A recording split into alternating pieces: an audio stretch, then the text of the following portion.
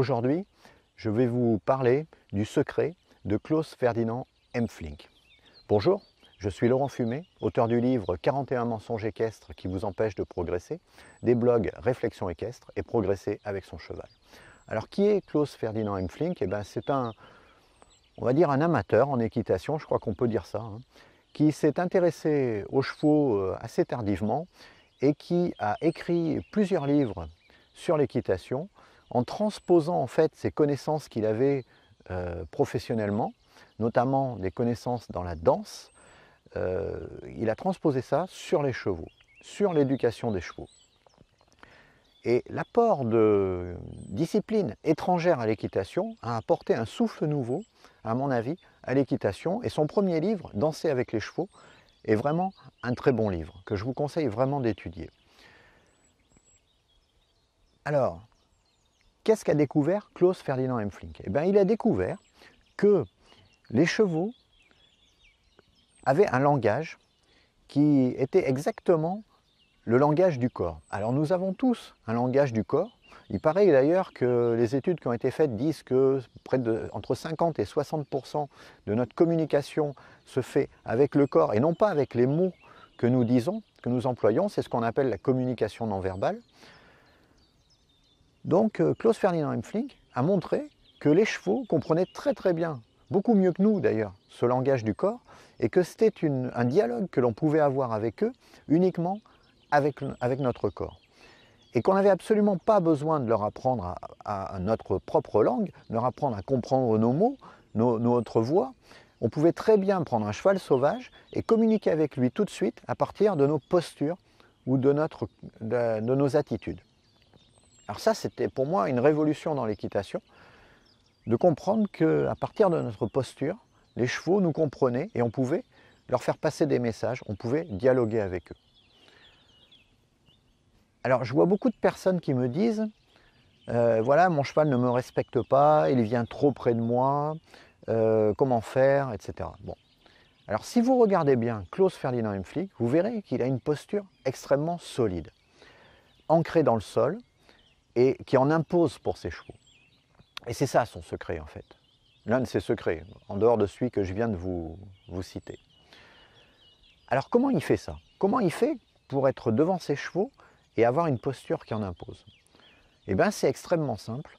Quand il se déplace, il ne bouge pas le haut du corps. Je m'explique. Donc quand il marche, donc je vais m'éloigner de la caméra et je vais vous montrer ça. Quand il marche, il marche avec un haut du corps qui ne bouge pas. Il s'ancre au niveau de l'estomac il s'ancre dans le sol au niveau de l'estomac. Il respire avec son estomac. Et donc, quand il se déplace, je vais me mettre plus loin de la caméra.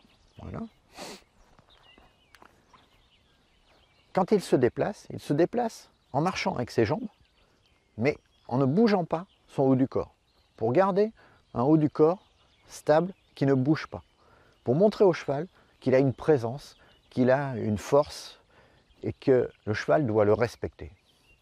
Donc ça, c'est son secret. C'est celui qu'il explique dans son troisième livre. Euh, je ne me souviens plus du titre, mais voilà. Euh, ce que les chevaux nous disent, ou quelque chose comme ça. Ce que les chevaux nous disent, oui, je crois. Et il explique donc dans ce livre que sa méthode, c'est ça. C'est un ancrage dans le sol. Et pour être ancré dans le sol, il ne faut pas bouger le haut du corps à partir du bassin. Et il faut que ce soit les jambes qui se déplacent, les jambes qui bougent, mais absolument pas le haut du corps. Vous gardez le haut du corps à sa place. Voilà, donc à partir de là, ça vous permet d'avoir un centre, euh, d'être centré sur votre, euh, en dessous de votre nombril, sur votre estomac, d'avoir une respiration abdominale, de respirer avec l'estomac et d'avoir un centre de gravité qui est très bas, très descendu, de manière à être très solide. Alors bien sûr, pour que votre cheval vous respecte, il faut respecter une distance de sécurité. Il y a plein d'autres notions qui interviennent, mais je voulais vous parler aujourd'hui de celle-là parce qu'elle me paraît essentielle et très peu de gens la connaissent. En fait, vous devez marcher comme un mannequin. Si vous regardez les mannequins, ils bougent, elles, bougent sans, euh, sans bouger les épaules. Ils avancent avec les jambes sans bouger le haut du corps. ça, ça prend. Et euh, en équitation, c'est important. Et à cheval aussi, d'ailleurs, on ne doit pas bouger le haut du corps. On le bouge que si on a quelque chose à demander. Parce que sinon, si on bouge le haut du corps à cheval, ça fait balancier et le cheval va y répondre soit en reculant, soit en s'arrêtant si on se penche en avant, soit en avançant si on se penche en arrière. Donc on va pouvoir communiquer avec lui de cette façon-là, mais à condition de le faire de façon consciente et pas de façon inconsciente où on bouge le haut du corps dans tous les sens et le cheval ne comprend plus rien. Donc il faut d'abord apprendre, avant de bouger le haut du corps, il faut apprendre à garder le haut du corps stable. Et donc apprenez-vous, entraînez-vous à marcher avec le haut du corps qui ne, qui ne bouge pas. Et ce soit vos jambes qui bougent. Voilà, j'espère que ce petit truc de Klaus Ferdinand Hemflink vous servira. Et puis je vous dis à la semaine prochaine pour une nouvelle vidéo. Abonnez-vous à ma chaîne si ce n'est pas déjà fait. Et un petit pouce j'aime. Merci beaucoup. À bientôt.